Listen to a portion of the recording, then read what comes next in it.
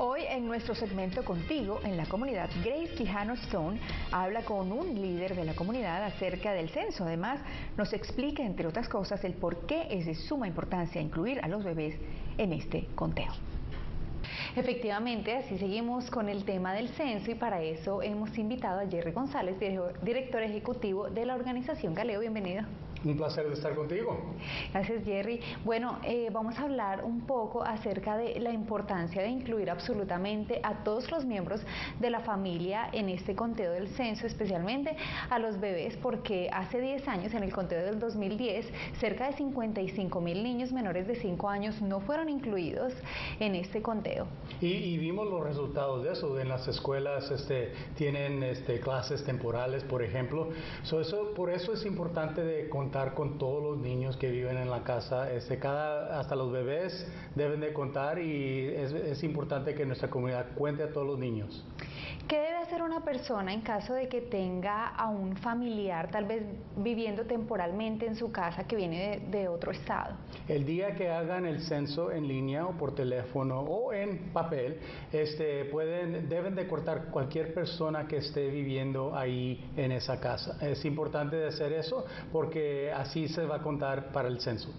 ¿Cómo se maneja el hecho de que hay jóvenes que están yendo a la universidad en otros estados, pero que han vivido obviamente con sus familias en estas casas? Lo que pasa en estas situaciones en veces se cuentan dos, dos veces, pero es importante de eh, completar el formulario como ellos puedan. los, los, padres, por ejemplo, que completen el formulario como ellos puedan, porque el censo va a tener los nombres, las fechas de nacimiento de cualquier persona y van a ver que hay dos y ellos resolucionan eso. So, eso es algo que no se deben de, mortificar por eso, por, pero si quieren incluir a la persona, incluyen a la persona, por favor. Ok, en caso de que una persona decida completamente ignorar todas las notificaciones que se hacen para llenar los formularios del censo, ¿qué puede esperar esa persona? Lo que estamos diciendo a la comunidad que es muy importante responder cuando lleguen las cartas en el correo para responder en el, con el censo en línea o por teléfono. Es importante porque si no responden, eh, entonces van a mandar a personas a su puerta para pedirle información cara a cara. Este, lo que todo lo que está pasando ahorita este, es importante a la comunidad que responder cuando reciben las noticias por el correo. Recordémosle también a la comunidad por qué es tan importante como comunidad latina incluirnos en este conteo es el poder y los recursos que tenemos como comunidad. Eh, es algo muy simple eso. Si queremos más recursos en nuestra comunidad, si queremos más poder como comunidad, este, tenemos que participar en el censo porque eso es el base de datos que tenemos para 10 años y va a ser un gran impacto a nuestra comunidad si este, no contamos a todos.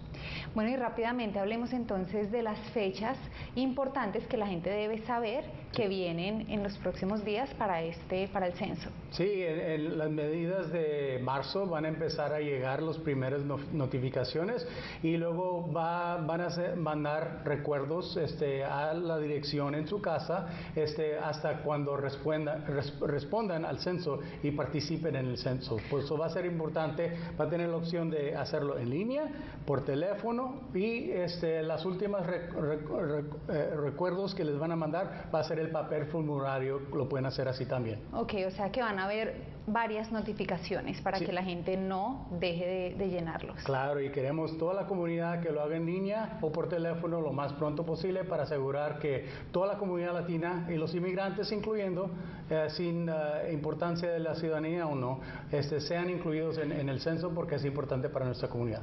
Así es, Jerry, muchísimas gracias. Un placer estar con ustedes. Gracias, gracias. esto es todo por mi parte, Mariela. Volvemos contigo.